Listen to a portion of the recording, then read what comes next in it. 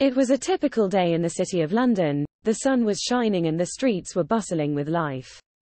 Detective John Smith was on the case of yet another mysterious crime. His latest assignment was to investigate the disappearance of a valuable set of jewels from a prominent family in the city. He had been on the case for a few weeks and he was getting closer to a solution. John had been working with the family to try and find out what had happened to the jewels.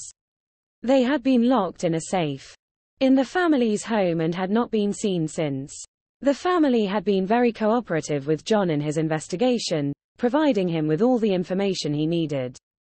He had interviewed the family members, looked through their financial records, and even searched their home for any clues. However, despite all his efforts, John had been unable to find any leads to the whereabouts of the jewels.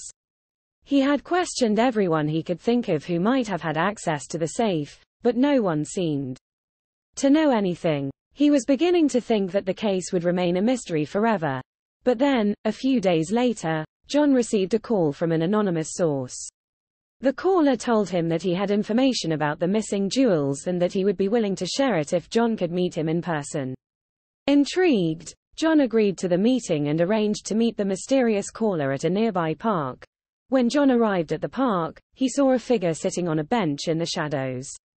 He approached Ed the figure and immediately knew who it was. It was the same man he had interviewed earlier in his investigation. The man revealed that he had been hired by a rival family to steal the jewels. He had managed to break into the family home and take the jewels, but he had been unaware of the security measures put in place by the family.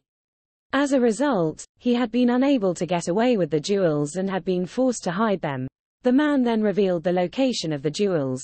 They were hidden in an abandoned warehouse on the outskirts of the city. He offered to take John to the warehouse so that he could retrieve the jewels, but John refused. He wanted to handle the situation himself and thanked the man for his help. John took a taxi to the warehouse and, sure enough, he found the jewels hidden there. He took them back to the family, who were relieved to have their precious jewels returned. They thanked John for his hard work and dedication and offered him a reward for his efforts. John accepted the reward and returned to his office to begin working on his next case. As he reflected on the events of the past few weeks, he knew that he had solved another difficult case. He had uncovered the mystery of the missing jewels, and in doing so, he had brought justice to the family who had been wronged.